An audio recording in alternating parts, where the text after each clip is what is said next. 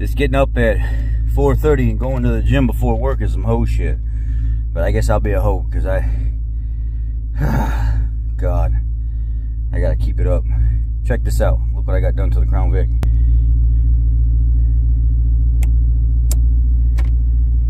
See that? Installed that yesterday. It's the upgraded LED style. And everybody's offering me, hey man, I'll swap you out two lights if you just give me that one LED style. Because we can't find those at a decent price. They're $400 a piece. Nope. I got lucky and got this one for 199. It's just right at $200 and I think it was like $20 shipping or something like that. Nope. I'm not getting rid of it. But I tell you what, it's really weird because I noticed that my back is getting bigger, my chest is getting bigger, my waist is shrinking. For some odd reason on the body fat scale, the measuring thing that they put in your hands and stuff like that, it says my fat content is not, my fat percent is not changing, and it says I've been the same weight for like the last four weeks with no change.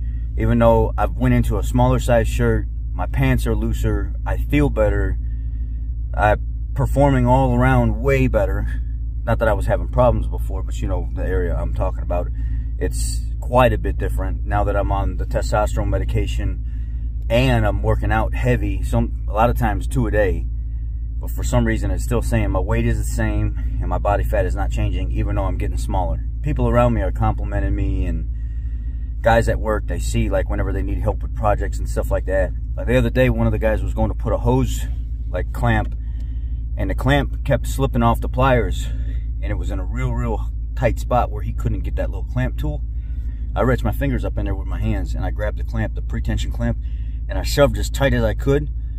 And I worked that clamp right up that hose and let it go. And he said, what the hell, boss? I was like, hey, man, it's the gym, man. I'm going back to the gym and I got that old man strength. And it's, uh, my testosterone is through the roof right now with this new medication. And I feel good.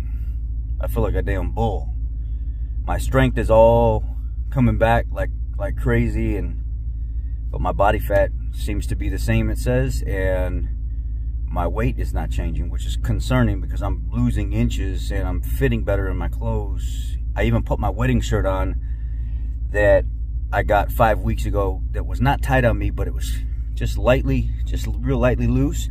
Well now I can go like this with the shirt and it waves all across it because there's so much room in it now I don't I don't get it sometimes. I know your body works mysteriously, and if you're putting on muscle mass while you're losing weight, there can be some conflicting results there. And then my trainer also said that, you know, based on how much you eat that morning or, or whatever, and, and how much water you're drinking and stuff, they say it's not supposed to affect it, but we find it sometimes it does. And then sometimes those scales just are flat out not, flat out not accurate at all. So I don't know.